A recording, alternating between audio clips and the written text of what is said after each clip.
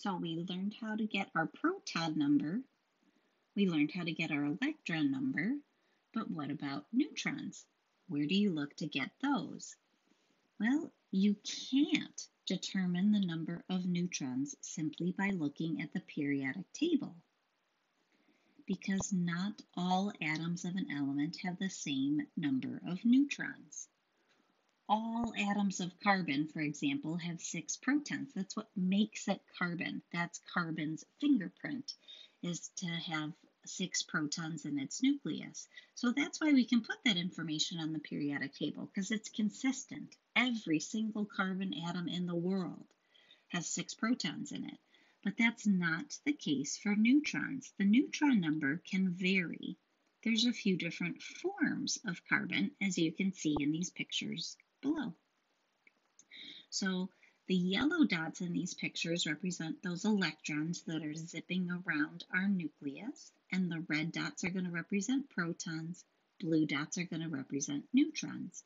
So if we look at that picture of the atom all the way on the left, and we counted how many red dots we see in that picture, I see one, two, three, four, five, six red dots.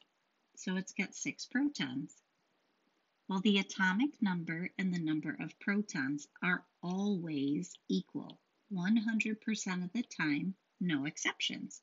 So if it has six protons, its atomic number is six, and you could look at a periodic table to know, oh, I'm looking at an atom of carbon then.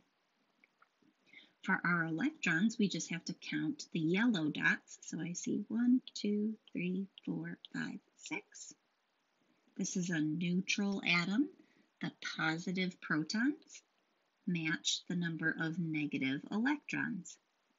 Next, we have to count uh, the blue dots there to get our neutrons. So I see one, two, three, four, five, six. We're going to repeat that process with the other two atoms. So both of these guys here, this guy has six protons, which means its atomic number is six.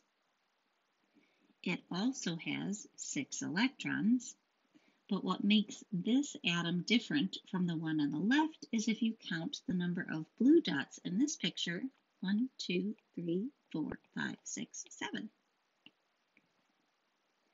And for that one all the way on the right, this guy has six protons, so atomic number of six. It also has six electrons to keep that atom neutral but this one has one, two, three, four, five, six, seven, eight neutrons. So proton number is consistent, the neutron number varies. So how do we know if we're talking about an atom of carbon that has six neutrons or seven or eight? Well, you would need the atom's mass number. The mass number tells you the sum of the protons and neutrons together. So that atom all the way on the left, 6 protons, 6 neutrons, a mass number of 12. That middle guy would have a mass of 13, 6 plus 7. And then this guy, 14, 6 plus 8. The symbols for the different elements can be written in one of two ways. You can either have the mass number on top atomic number on bottom and then the symbol, or you could write it with the, the symbol for the element, a dash, and then its mass number. So um, for that atom all the way on the left of carbon, for example, we could say mass number of 12, atomic number of 6, and the symbol for that carbon atom would be C. Or another way of writing it would just be C dash 12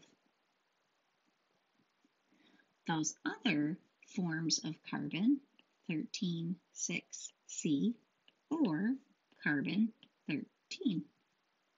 And the last one, 14,6C or carbon 14.